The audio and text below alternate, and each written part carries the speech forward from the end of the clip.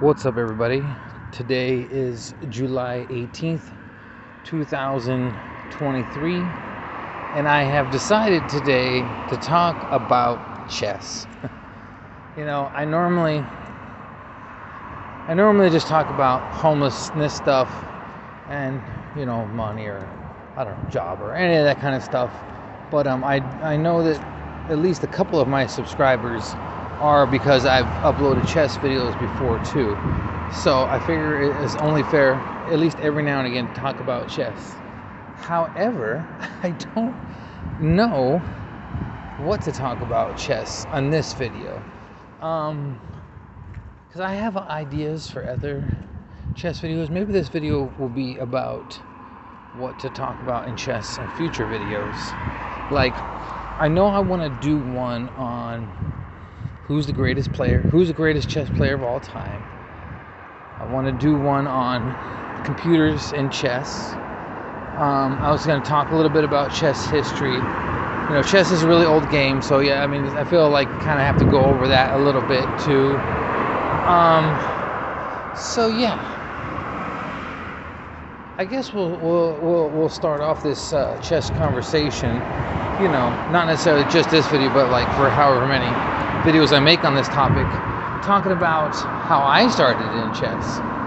So, my dad taught me chess when I was pretty young. I want to say around 10 years old, thereabouts.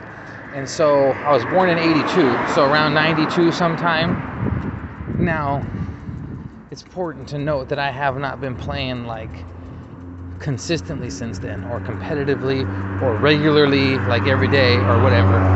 Very much not so. Um, that's just when I learned like the rules. Uh, you know, you gotta understand. 92. Let's just say it was 92 when I learned thereabouts, right? For those of you who are younger, even if you do play chess, you gotta understand that back then there was no online chess, especially in 92 like you know nowadays there's all kinds of chess websites chess.com lichess.com i mean all kinds of chess websites.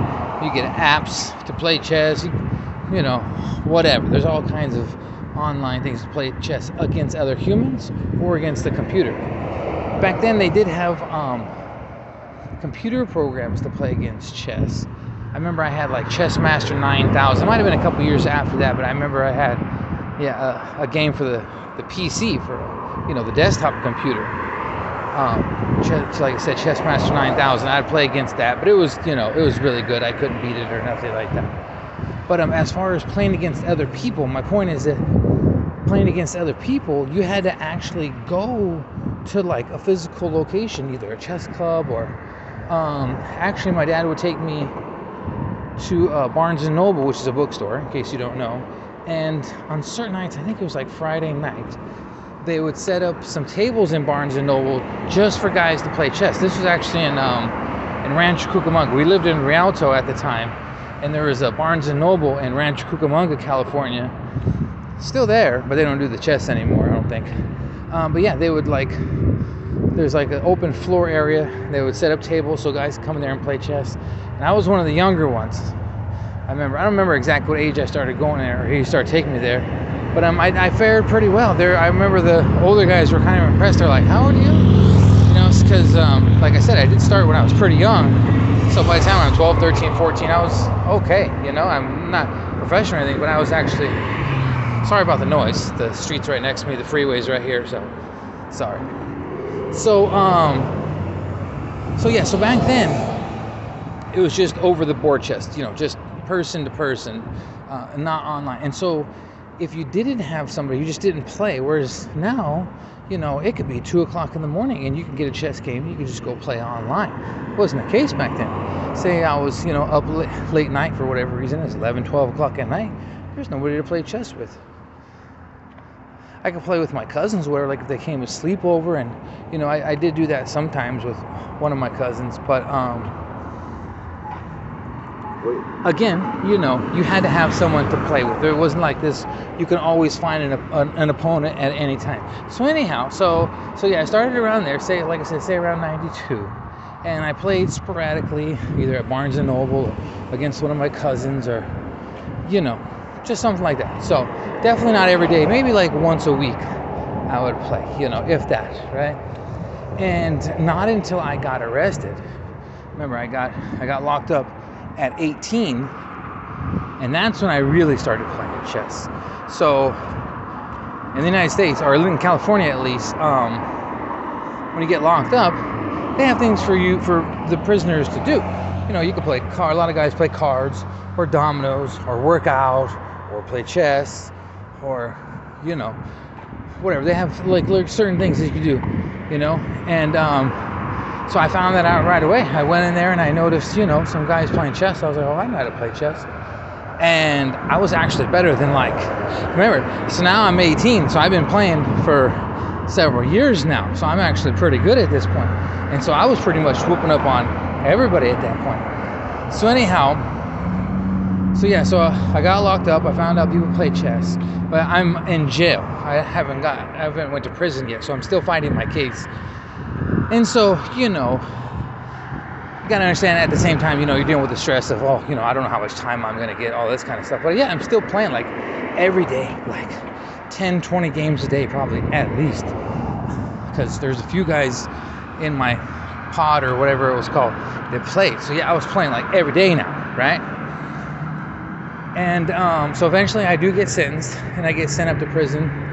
And, you know, uh, you know, I, I get into the the routine of that, figure out, you know, because you got to figure out, you know, the prison rules and all that kind of stuff. But once, basically, once I settle in, you know, it's the same thing. You know, guys in prison, they they have a program. They do certain things. Like I said, some guys work out, some guys paint pictures or draw pictures, or uh, like I said, some guys play dominoes or cards or whatever. And there's a group of people who play chess. And so again, I started playing chess. And so over that span of six years that I was incarcerated from 2000 to 2006, I played thousands of games. I mean, like I said, at least 10 to 20 games a day.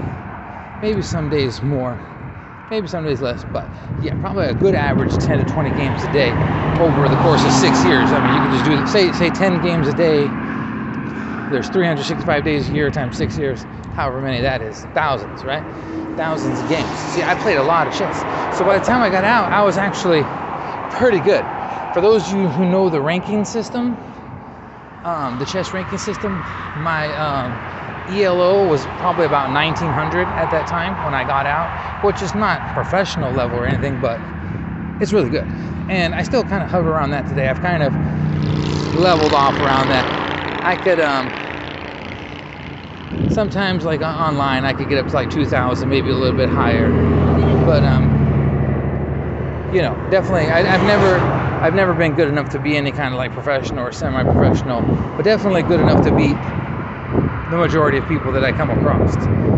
So yeah that's kind of my uh, that's kind of my my chess history. That's like I said I've been playing pretty much on and off since 92 but fairly consistently since I got locked up in 2000. So I've been playing pretty much every day since 2000. So that's what 23 years now.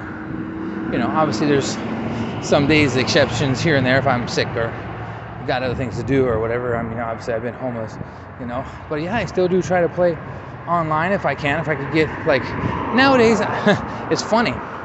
It's funny. 30 years later, like I said, when I first started playing chess, it was only over the board. There was no playing online against anybody, right, except a computer. Um, and nowadays it's completely flipped. It's kind of hard to find people to play, you know, in person nowadays. And it's, I play virtually all online. So yeah, 30, 30 years later, it flipped from when I started playing exclusively against, you know, face to face against people to now, pretty much all my games are just online to, you know, I don't, I don't see the face of the person. So yeah, that's you know, funny how times change, even in chess, you know, even in chess. Computers dominate in chess nowadays, and um, everything is online. There's so much cheating nowadays because it is a lot of it's online and with computers and all that. But I'll get more into all that stuff in other videos. I kind of just wanted to give an intro to me in chess. So, yeah, so that's how I started chess. I'm a good 30, 30 years strong into chess now. And, um, you know, I love it. It's one of the things that I really like to do in life. You know, some, I mean, some people have hobbies. Some people like welding. My dad, he used to like welding, and um, he liked building computers. And you know, some people like sports. Or my mom, she likes outdoor stuff, hiking and stuff like that. You know, everybody's got their own thing. My thing, I just, I like chess. I kind of like video games in general, or games, I mean, in general. But yeah, chess is my favorite.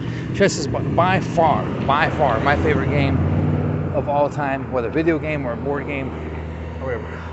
Okay, anyhow, that's chess. We've started the conversation. Um, I probably won't make a video, at least for a few days, about chess, because like I said, it's only the minority of people who are subscribed to me who um, who are into chess. I went across the street real quick, trying to not die here while talking about chess. What an irony, huh? The thing I love, I die talking about. so we don't want that to happen. Um, so yeah, so um, I will do other videos on chess, but maybe not, like I said, maybe not tomorrow or the next day, at least a few days. But um, and now I have officially sparked the conversation, so I will continue it eventually. Anyhow, thank you for watching. Thank you for listening to me ramble about chess, especially if you, you don't, you're not into chess at all.